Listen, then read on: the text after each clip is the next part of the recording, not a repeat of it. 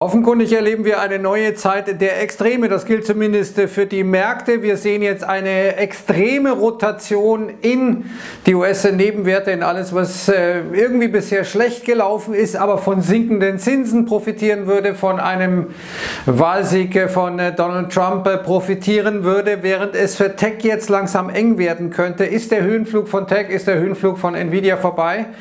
Die Wall Street ist ein Tagesgeschäft. Wir haben schon oft erlebt, dass äh, rotiert wird, am nächsten Tag wird dann wieder anders rotiert, aber es könnte sich schon ein Trend abzeichnen, zumal jetzt die Fed Fund Futures eine Wahrscheinlichkeit von sage und schreibe 100% einpreisen, äh, dass ähm, die US-Notenbank am 18. September bei der übernächsten Fed-Sitzung dann die Zinsen senken wird. Wir sehen hier mal die Wahrscheinlichkeit, dass es 25 äh, Basispunkte sind, also ein Viertelprozent, nämlich die Zinssenkung liegt bei 93,3 Prozent. Die Wahrscheinlichkeit, dass äh, die Fed dann äh, einen großen Schritt gemacht haben wird, also 0,5 gesenkt haben wird, wird liegt bei 6,7 Prozent. Und jetzt weiß ich, sind einige Mathe-Genies unter Ihnen, die das mal addieren und dann auf 100 Prozent kommen. Aber mm, das ist äh, schon sehr extrem, würde ich sagen. Wir hatten Ähnliches im Januar äh, diesen Jahres, als man sieben Zinssenkungen erwartete und das alles dann doch ein bisschen anders gekommen ist. Was passiert, wenn zum Beispiel die nächsten Inflationsdaten wieder ein bisschen heiß sind? Vermutlich würde die Fed dann doch die Zinsen senken, aber vielleicht dann äh, sagen, naja, wir müssen ein bisschen vorsichtig sein, wir müssen äh, mal gucken, wie das Ganze ist. Also es ist schon extrem, wie schnell das jetzt gegangen ist, dass man sich zu 100% sicher ist, dass die Zinsen sinken werden und man erwartet dann in der Summe praktisch drei Zinssenkungen noch in diesem Jahr. Wie gesagt, von 7 auf 0, jetzt wieder auf 3. Wir sehen also, dass die ganze Geschichte sehr volatil ist. All das aber, nämlich sinkende Zinsen, das beflügelt Gold, das heute ein neues All-Time-Hick erreicht hat, äh, wie es hier heißt, von dem guten äh, Holger Cepic. Also Gold kann äh, profitieren für das gelbe Metall, ist das eine Steilvorlage. Erstens, Aussicht Trump, Verschuldung wird nicht geringer, sondern tendenziell steigen. Zweitens, die Zinsen werden fallen, auch weil Seth Donald wahrscheinlich darauf drängen wird. Drittens, weil die Inflations- äh, Aussichten. Das äh, zeigen äh, hier die Swap-Märkte, die die längerfristige Inflation bepreisen, eben durch Sedell dann wahrscheinlich nach oben gehen. Migrationsbeschränkung respektive Abschiebung von den Migranten plus deutliche Anhebung von Zöllen und so weiter und so fort. Jedenfalls für Gold ein ziemlich cooles Setup, muss man sagen. Hier sehen wir jetzt mal das heutige Geschehen an der Waller Street. Wir sehen der Russell wieder deutlich über 2% im Plus, also der Nebenwerteindex.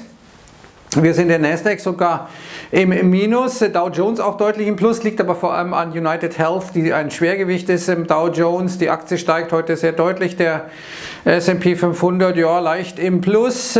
Und äh, hier sehen wir Dramatic Reversal auf the Nasdaq Russell Trade, also hier Nasdaq in Relation zu diesem Nebenwerteindex Russell, das war eine Einbahnstraße, alle wollten Tag, Tag, Tag, Tag, Tag, Tag, niemand wollte die Nebenwerte haben. Jetzt wollen alle die Nebenwerte, Herde komplett umgesteuert, alle rein in äh, Nebenwerte. Äh, wenn das mal gut geht, denn ein Problem ist ja, zwar ist die Wahrscheinlichkeit wirklich nach diesen miserablen Daten, die wir im Grunde seit April gesehen haben aus den USA, ich hatte heute Morgen den City Economic Surprise Index gezeigt, der im Grunde seit April äh, klar und eindeutig nach unten geht mit, mit einer kleinen Zwischenetappe Mitte bis Ende Mai, da waren die Daten dann vorübergehend besser, aber dann wieder deutlich abgesunken. Aber was ist, wenn jetzt äh, eben zwar die Zinsen sinken, aber die Wirtschaft in die Rezession fällt? Das hilft diesen Firmen auch nicht, die im Russell sind, denn die haben wenig Puffer, die können schwere Zeiten eher weniger überstehen. Aber however, schauen wir uns mal die Heatmap an. Da sehen wir Microsoft im Minus, wir sehen äh, Nvidia vor allem im Minus, wir sehen Meta im Minus, Amazon kann sich heute gut halten. Viel Plus sehen wir hier, also viel Grün. Das liegt eben daran, dass jetzt die Mehrzahl der Aktien Aktien gewinnt, während wir vorher ja in der Situation waren, dass die Mehrzahl der Aktien gefallen ist, aber die großen Tech-Werte gestiegen sind, weswegen ja die Indizes wie der S&P und vor allem der Nasdaq 100 gestiegen sind. Hier sehen wir einfach mal äh, grafisch illustriert die Magnificent Seven in Relation zu dem Aktienmarkt in China, zu Japan, zu Italien, Francia, United Kingdom, Kanada und äh, ganz links, ganz klein, das ist Germania, das ist Germany und äh, unten sehen wir mal eine interessante Grafik. Wir sehen nämlich, dass die Gewinnerwartungen für die ähm, KI-Aktien, also für Nvidia und Co., also alles, was noch in diesem Spektrum äh, künstliche Intelligenz vorhanden ist, dass die nach unten gehen. Ja, sowas. Ich dachte, es geht immer nur nach oben, auch mit den Gewinnerwartungen. Nein. Und äh, hier die äh, bösartige Bank of America, das sind wirklich ganz schlimme Finger, die sagen, naja, vielleicht sollten wir uns mal überlegen, dass die Anfangsprofiteure, die Aktien, die alle haben wollen, dann am Ende nicht die Gewinner sind. Denken wir mal an Cisco oder so. Ja, die gibt es noch, aber die spielen eigentlich keine große Rolle mehr. Und die waren ja der große Superstar. Lange Zeit wird das mit Nvidia auch so sein. Naja, momentan verkaufen sie eben noch die Schaufeln und solange alle noch sagen, okay, ähm, wir suchen Gold, auch wenn eben diese skeptischen Stimmen von ähm, Goldman Sachs und anderen jetzt deutlich häufiger werden, äh, wie wollt ihr eigentlich Geld verdienen? Und diese Frage wird natürlich langsam immer virulenter. Massive Ausgaben, massive Investitionen nötig für diese Datacenter, aber wo ist die Killer-Applikation, die euch wirklich das Geld bringt? Und so könnte es sein. Es könnte sein, meine Damen und Herren. Ich bitte das sehr ernst zu nehmen, dieses könnte, also dieses ähm, konditionale, Konjunktiv, was immer Sie wollen. Gell? Deutsche Sprache ist ja da vielseitig. Ja? Also das könnte sein, dass die Nvidia-Aktie möglicherweise vor einem Rücksetzer steht, zumal auch SMH, das ist der Semiconductor-Index, also Halbleiter-Index, auch irgendwie fertig aussieht auf der Oberseite, aber natürlich weiß man das nicht. Und äh, wenn insgesamt äh, eben die Zinsen sinken, dann sehen wir, dass äh, nachdem die Fed die Zinsen gesenkt hat das erste Mal, Value Growth outperformt, also besser läuft, also all das, äh, was bisher genau andersrum war. Small Caps besser sich entwickeln als Large Caps, also kleine ähm, Aktien besser laufen als äh, große Aktien und Bonds äh, besser laufen als Aktien. Mit anderen Worten, die Renditen fallen, äh, da steigen der Kurse der Aktien. Und äh, weil der Kurs der, der Anleihen steigen, dann tun sie das mehr auf jeden Fall als äh, bei den Aktien. Das ist eine Logik hinter der ganzen Sache. Hier sehen wir mal den IWM, das ist der, das maßgebliche ETF auf den Russell 2000, diesen Nebenwerteindex. Der ist jetzt gut 11% im Plus seit äh, Jahresbeginn, aber davon so ziemlich alles in den letzten fünf Handelstagen. Das ist einfach extrem krass, was hier passiert dieser Herdentrieb an der Wall Street. Und ja, es gibt da eine gute Begründung und diese Begründung heißt eben bei sinkenden Zinsen profitieren diese Werte, denn die haben deutlich mehr Floating Debt, also äh, praktisch äh, Schulden, die nicht äh, langfristig abgeschlossen wurden, sondern man muss sich öfter refinanzieren und das muss man ja derzeit angesichts der Zinssituation zu hohen Zinsen, während die großen Player eben nur 10% Floating Debt haben und den Rest der Fixed Debt. Das ist äh, genau der Punkt, warum man jetzt eben sagt, naja, dann kaufen wir die. Aber wie gesagt, wenn die Wirtschaft abschmiert, hm, egal. Schauen wir uns mal die Regionalbanken an. Das sind ja auch die Superstars, ETF, KRE. Massiv gestiegen, 16% jetzt. Äh, beste Entwicklung seit die November. Und äh, wie gesagt, entscheidend wird die Frage sein, wird die US-Wirtschaft in eine Rezession abschmieren. Und wir haben heute wieder wunderbare Daten bekommen. Äh, wunderbar im Sinne von äh, ein bisschen aufgehübscht, um es vorsichtig zu formulieren. Denn wir haben die Retail Sales, die Einzelhandelsumsätze 0,0. Da war eigentlich ein Negativwert von 0,3% erwartet. Die Bank of America hat sogar gesagt 0,4%. Und die äh, haben ja Einblicke in die Kreditkartendaten der Leute. Jeder dritte, vierte Amerikaner hat wahrscheinlich von der Bank of America eine Kreditkarte. Also können, sie normalerweise sehr gut absehen, was der Fall ist, sind auch sehr treffsicher in der Regel, aber dann kommen die Herrscher der Statistik und sagen, ähm, wir lassen uns da mal was einfallen. Und was das gewesen ist, das nennt sich Seasonal Adjustment, saisonale Anpassung. Damit kannst du eine magische Zahl erzeugen und so kam äh, diese 0,0 äh, zustande. Das ist natürlich ein voller Erfolg der Statistiker. Vielleicht sollte man die mal in den Secret Service packen, die können wenigstens ihr Handwerk. Und hier sehen wir aber, wenn wir uns das mal die Realität anschauen, also nicht saisonal adjustiert und gleichzeitig noch inflationsbereinigt, dann wären die Umsätze um minus 2,8% zum Vorjahresmonat gefallen. Also waren sie nicht so wirklich gut, aber wie gesagt, die Statistikwunder in den USA sind groß und sehr, sehr ausgeprägt. Hier sehen wir mal Oben in diesem Chart diese gestrichelte Linie, wir sind schon seit einiger Zeit schrumpfend mit den Umsätzen in der Realität, also inflationsbereinigt. Und es liegt einfach daran, dass die Inflation noch äh, eben deutlich höher ist als äh, eben das, was bei den Einzelhandelsumsätzen passiert. Und so sind zwar auf der einen Seite hm, viele skeptisch, was das Wachstum in den USA betrifft, hier oben diese Grafik auch wieder von der Bank of America, unten allerdings ähm, ist die Erwartung, dass die USA in eine Rezession fallen, äh, bei den befragten großen Fondsmanagern wieder gesunken. So ein bisschen widersprüchlich. Eins ist klar, die Zeit des großen Gelddruckens, äh, die äh, ist vielleicht vorbei und vor allem ist sie nicht effektiv. Hier sehen wir mal, was eingedruckter Dollar an Schulden an BIP-Wachstum bringt und das ist jetzt nur noch 58 Cent auf den Dollar.